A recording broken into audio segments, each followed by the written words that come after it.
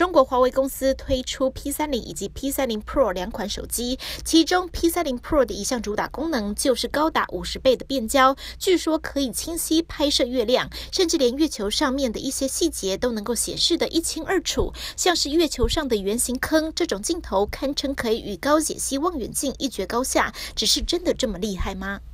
综合媒体指出，网络上传出质疑华为手机内置 P 图功能，直接将月亮 P 完整的这个看法。中国北京网媒爱否科技一名主笔王月坤在微博上发言，表示在使用华为 P 三零 Pro 拍摄月亮的时候，图片上会显示出一些不应该存在的细节。接着比较手动模式以及自动月亮模式，做出了一系列的测试。对比起来，似乎这个月亮的一些细节的确是会显示出 P 上去的痕迹。华为 P 三零 Pro 被证实自动拍月亮是使用了 AI 算法，并非是像单反那样直接拍成的。王月坤的看法引起外界激烈讨论。爱否科技日前发表声明，批评王月坤提出华为对月亮照片进行算法优化的行为是一种造假，说法严重错误。爱否科技认为他实验准备不足，测试过程不细，结论下达武断，并且利用在公司就职期间累积的粉丝影响力，在个人微博上误导观众、煽动情绪，严重违反。公司的相关规定